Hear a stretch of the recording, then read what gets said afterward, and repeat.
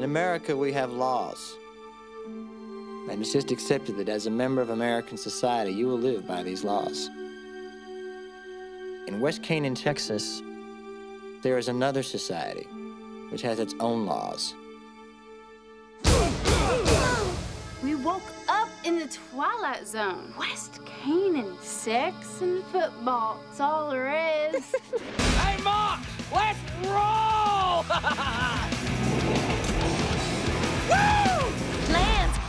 have your autograph? Right here? I tell you, these players are just running around flawless. Earl, my boy's too much trouble for you. Oh, no, uh Coach. What the hell are you doing? Changing. Oh, come on, I'm wearing underwear. Does it really bother you? I can handle it. Tell me this insanity's over in a few weeks. Five more games. No more football, no more Kilmer, and if I get into Brown, no more West Canaan. Woo! Yeah! Come on, keep your shirt on, Billy Bob. it's a strip club, man. I'm here to work. Isn't this better than football? This is better than anything. We do things around here my way. You're going to be second string all your life, boy.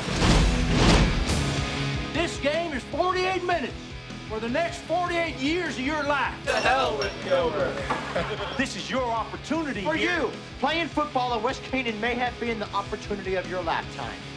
But I don't want your life. You disobey me, and I will bury you. I know about your scholarship to Brown. Only way we're going back out in the fields without you. Kilmer said 48 minutes for the next 48 years of our lives. I say we go out there and we'll leave it all out on the field. We got the rest of our lives to be mediocre, but we have the opportunity to play like gods. Let's be heroes.